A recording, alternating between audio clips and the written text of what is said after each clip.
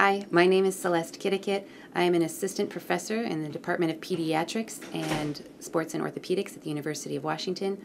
I am a core faculty member for our Sports Medicine Fellowship and also serve as an associate program director for our pediatric residency program and medical director for our athletic training program at uh, Seattle Children's, which serves 42 high schools in our greater community.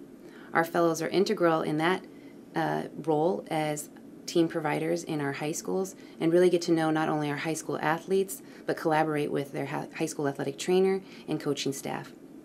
Our fellows are not only integral part of our community work and our patient care, but also serve as important uh, educators throughout the university and community.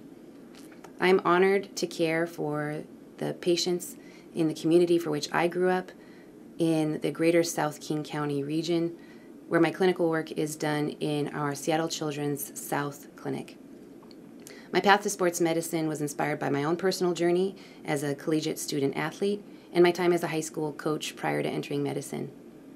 I cover high school sports and have special interests in injury prevention, community advocacy, and play equity.